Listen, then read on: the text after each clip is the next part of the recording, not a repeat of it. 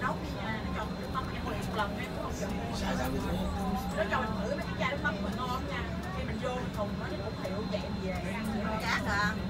Nó mấy lần gì em ăn chát à. Bữa giờ ăn xong rồi ăn bị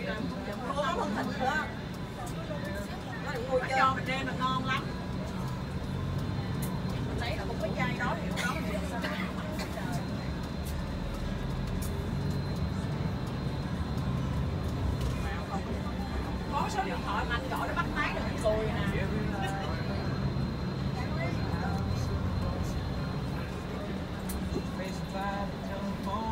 Bán gì sao mà bán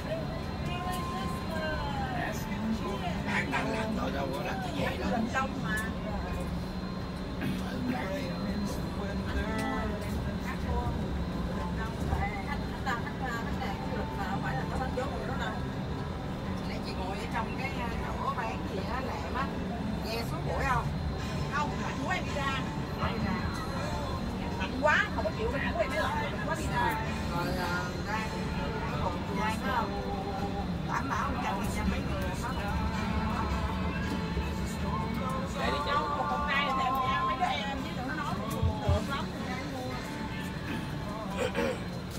À, dạ rồi thưa tới cả nhà bây giờ chúng ta đang ở thành phố Phan Rang Tháp Chàm mà.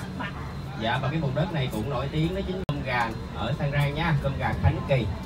Dạ thì ngoài cơm gà ra thì nhà mình ở đây cũng có bánh canh nữa. À, nhà mình có thể chọn ha cơm gà thì như cô cú mình có thể kêu à, gốc tư hay là cái đùi hay cái cánh gì đó tùy mình ha. Dạ. Cơ quả nấu cũng thơm lắm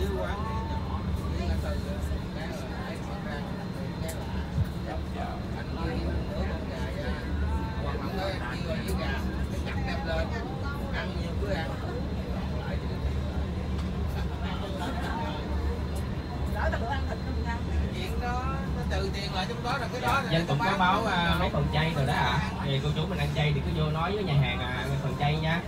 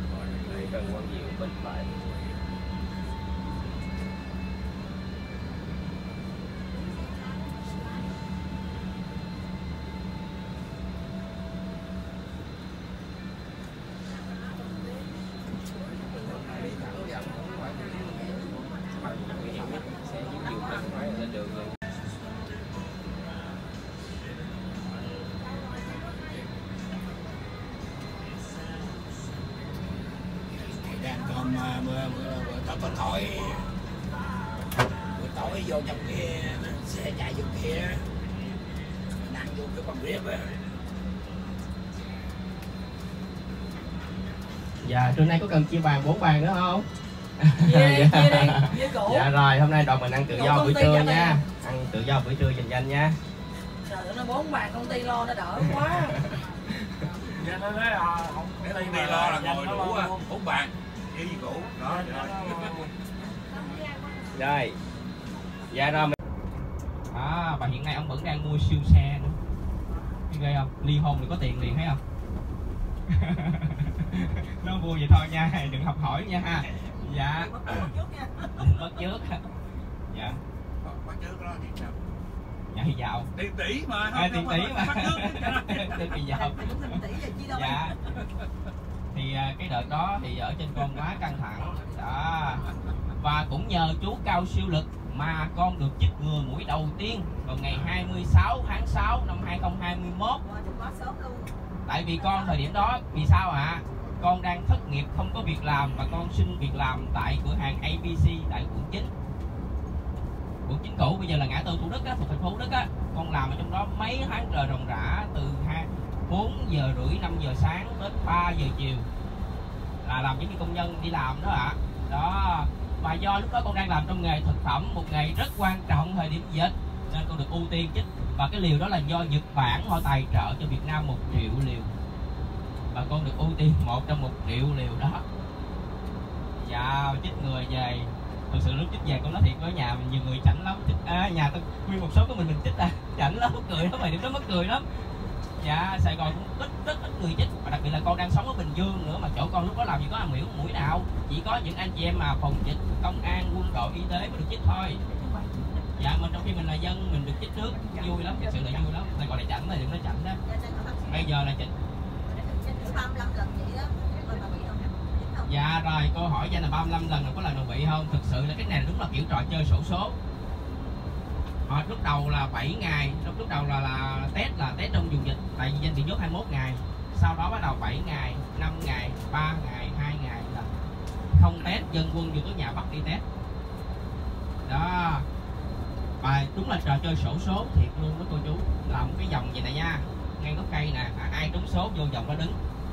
Sẽ có xe chở mình đi chơi. Thực sự mỗi lần mà nghe đọc tên một cái là cái tim nó phải có lại luôn tô lô tô lô tô vậy nè ai đọc tên, cái là hồi đứng tim á. Vì vừa đọc tên trúng số một cái là coi như mình bị kỳ thị ngay lập tức. Là né ra, giả hết luôn. Rồi liên quan tới vợ con mình ở nhà nữa cũng bị bị đem đi. Thực sự rất là lo. Nhưng mà nhiều khi nghe đọc tên cái đét đét á, gọi là hạn sử dụng á. Rồi sau đó bánh mì ngọt ra, đem lên quầy như thế nào thì chắc. Rồi sau đó 6 giờ mấy bắt đầu xịt khuẩn cho khách khi mà vào mua bánh mì. Đặc biệt là đang sáng sớm mà khách mà ship vô được 5 người ba người là dễ bị ăn chửi lắm. Ta đang gấp để đi làm mà mà quy định lúc đó của thành phố rất Đức rất là căng. Lúc đầu là 10, 10 người sau đó 5 người xuống còn 3 người là ai mà vô lửa lâu ở ngoài người ta chờ lâu người ta chửi. Dạ là tụi con lãnh đạn liền.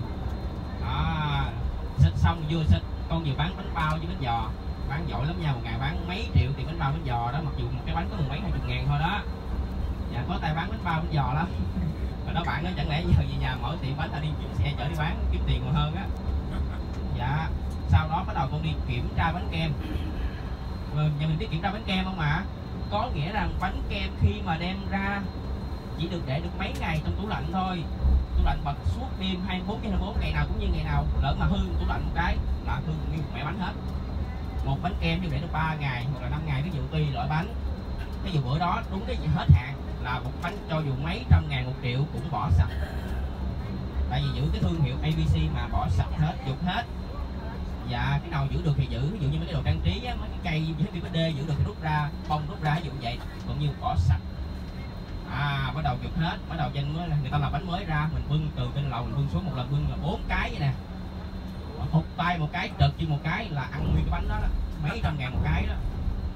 Bữa bị bị cái rồi con đi làm bánh cưới á tiệc cưới của người ta con lỡ tay con dở bị đi đông ra bánh cái mình đi đông nó dướng vô cái bánh nó đầy trời trở vậy trời rất cơ khổ. Thôi là kịp thôi là kịp thời gian ta khai mạc. Nếu không mà cô chú rể không có bánh cắt luôn á. Giờ làm lễ cũng hơn đó à, tại không lúc nào phải đi sớm á.